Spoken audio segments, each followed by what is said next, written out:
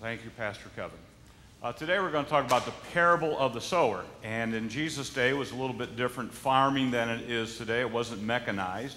But what, what they would do is that uh, they would have pathways along everybody's pieces of property.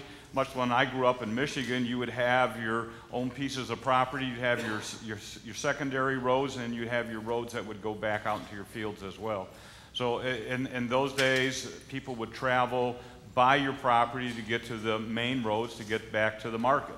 So uh, our culture is similar in many ways because somehow you have to get to the main place, the city, the village, wherever you're going to, to trade. And, and, so this is how it worked in Jesus' day.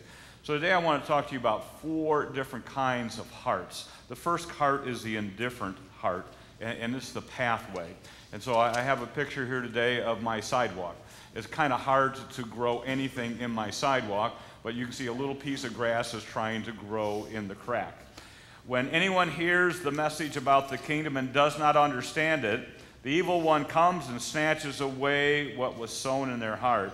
This is the seed along the pathway. You will notice in this section that the people with this kind of heart do not understand the Word of God. The gospel is nonsense to them. They have no room for God in their heart. These are the kind of people that make fun of a person who is a believer in Jesus. They make fun of faith. They make fun of people at work or wherever they can because this makes nonsense to them and this is just kind of hocus pocus bogus to them. Jesus said this about this group in Matthew 13 14. Though seeing, they do not see, and though hearing, they do not understand. The seed is good, but the ground is hard. The second kind of heart is the impulsive heart, the rocky heart. And I took this right out here in our driveway, this, you know, this piece between here and the school. That is be pretty hard to grow anything in. That is very, very hard. The seed falling on the rocky ground refers to someone who hears the word and at once receives it with joy. But since they have no root, they last only a short time. When trouble or persecution comes because of the word, they quickly fall away. So the method of planting in Jesus' day was called broadcasting. You, you take from your sack and you throw it out. And of course, the wind that sometimes will catch it and will go onto the pathway. And, and, right by the pathway is, is the part that really doesn't get plowed. So that's where your thorns and thistles will grow. Even though it's good enough ground to grow stuff, yet it's pretty hard to plow it because of the pathway. So in, in Jesus' day, when we begin to look at all this, it was not uncommon in that part of the world to have what we would call like a shale bed and then some dirt over the top. So they would have this kind of rock bed and maybe a thin layer of soil where the, the roots could actually begin to sprout, but they couldn't go down because of the rock under it. So when the sun came out and scorched it, the, the plants would die. So you will note too here, it, it doesn't say that these people did not understand the Word of God, but they received it with joy. But when trouble and hardship came, it was a problem for them. The person initially is on fire for God, great, great joy, but because of trouble, they blame God. You know, it's not my fault, God. I mean, I've done everything for you, and this is what I get as the results. Uh, these kind of people sometimes are the perpetual victims in life. And maybe we felt like that from time to time as well.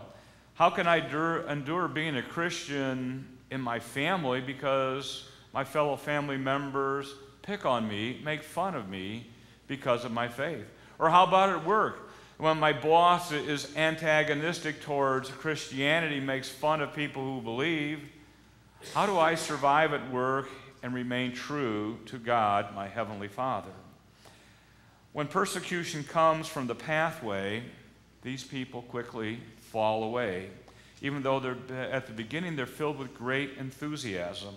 So the question today is my faith on bedrock with just a thin layer of soil. Then we have the impure heart.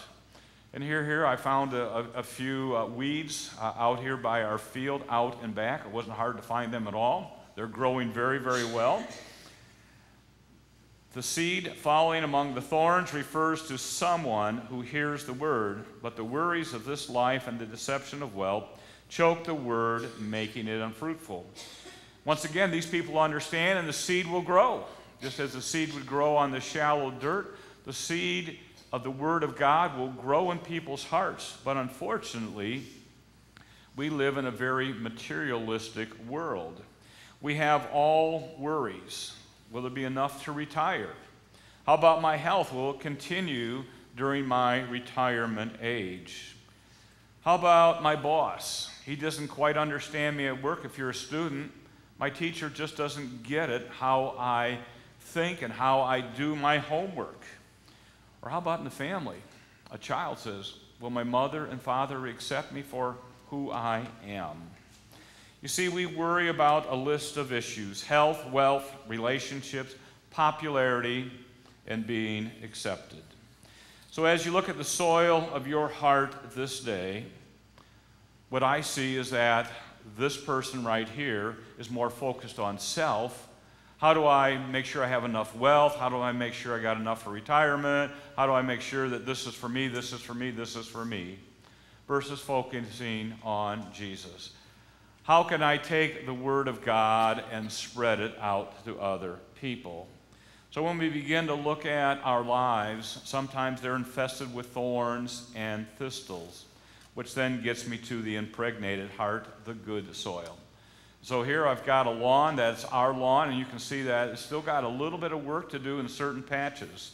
But the seed falling on the good soil refers to someone who hears the word and understands it. This is the one who produces a crop yielding 160 or 30 times what was sown. So, good ground bears good fruit. So, the question is today is how is your ground? How is your soil? Now, what I recognize is that I fall into this category and the thorns and thistles at times. The worries of life. You know, is there enough money to retire? How about our health? How about our family structure? How about the church structure? How's the church doing? I mean, you can talk about all the worries of life. And when I begin to see this, I have to say, Lord, I begin to see the thorns and the thistles in my life. Thank you for pointing them out to me. Help me to be focused on Jesus and Jesus alone because I know, God, that you have taken care of me in the past and I know, Lord, that you will take care of me in the future. Why should I worry? Because I'm human. That's the problem. I worry because many times I don't trust God implicitly with all that I have. But God is still at work in our lives, each and every day. How about you? Where is your heart today? God expects growth in your life, and God expects growth in my life, and God expects us to be broadcasting the seed of the gospel. So, what, what rate are you reproducing? 160, 30 fold. So, the question I ask you today is what is Jesus up to in your life? And I got this question from a book that we have been reading. So, I thought about this question, and I thought about what is Jesus up to in the life of our congregation? Now, some of you remember June the 29th, we had a voters' meeting, and we reaffirmed our mission of the school. Now, with that comes accountability, is that we have to be accountable to the voters' meeting in September to bring a plan to say, this is how we will support the ministry of the school. This is how the school will be much more financially sustainable. And then we work the plan. The voters holds the board of directors accountable, and the board of directors holds the senior pastor accountable, and I hold the ministry team accountable that we will be successful because we will have benchmarks along the way. Eight of us went on a mission trip to Honduras. It was a great time and it was a, a great experience. And, and we're going to be sharing that just in a moment when Katie Curtis comes up for the children's message. And Keith Massey will be here also to share during the offering time. is that what God has been doing in our lives. I presented to the board of directors last Tuesday a concept about Lutheran Student Center. I believe as we put the energy into our school as a congregation, I also believe that we have an opportunity to put the same kind of energy into Lutheran Student Center. And so I have invited the pastors around our area. I have used our vice president in the area to really get the attention of the pastors around the area. Paul Krenz, our minister of, of missions, as well. And that in the first week in August, we're going to have a meeting here at Grace Lutheran to speak about Lutheran Student Center and how we can possibly call a missionary to Lutheran Student Center. A full time person who is a trained DCE or DCO. DCE is the Director of Christian Education, DCO, Director of Christian Outreach. And we would partner together with the other congregations and individuals around our area. Now, some of you may be thinking this is a pipe dream. I don't think so. let me share this story with you, maybe as a way to solidify this concept. Don Richardson wrote in his book, Eternity in Their Hearts, he tells this amazing spiritual story about the Lehu people. Many of us know that the country Burma today is Myanmar, Myanmar, and this lies over by China and Laos. And what happens is that there is a people called the Lehu. And for centuries, they believed in a god that they called Guxie. And they had in their, and, and in their writings and in their belief is that God wrote the commandments on rice cakes. And one time there was a severe famine, and all the elders ate the rice cakes. And so no longer did they have the written word of God. But the elders said, now the written word of God is within us. But that wasn't good enough because in their writings and in their reasonings, they had prophets who, who talked about that God would send a white person with white pages in a book that would have God's commandments. And for centuries, the prophets proclaimed that this would happen. And they taught their people with proverbs, and this is one of the proverbs.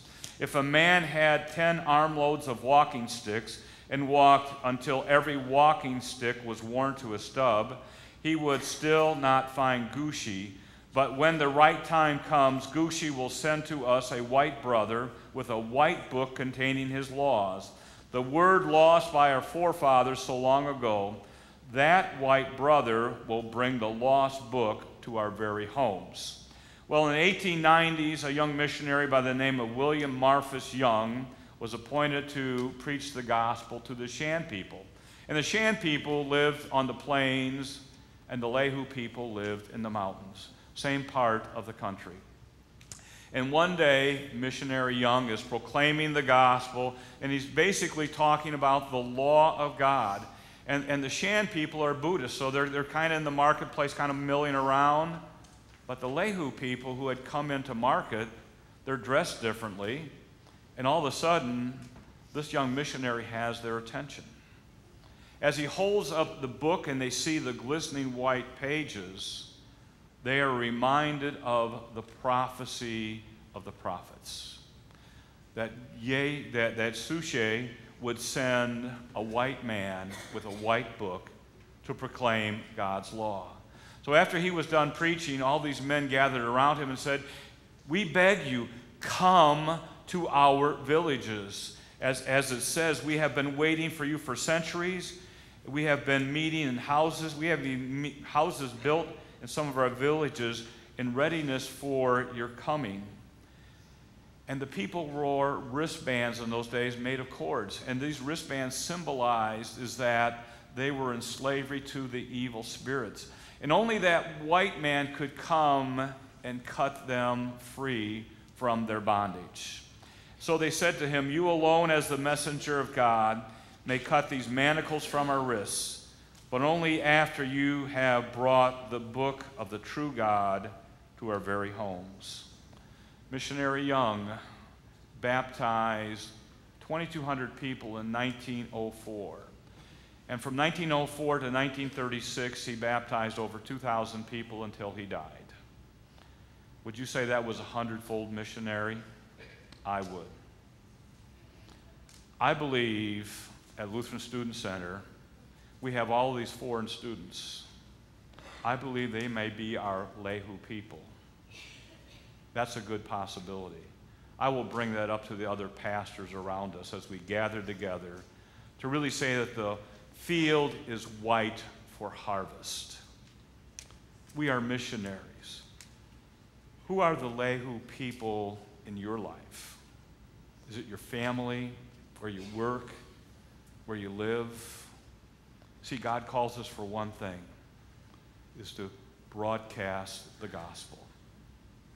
The seed is good. Sometimes the ground is hard. Sometimes the ground has soil, but rock under it. Sometimes it's thorns thistles. But sometimes the soil is great. And other people will increase the sharing of the gospel because of what we have done. We are missionaries right here to bring the hope of Christ to our community. And all God's people say, Amen. Thank you.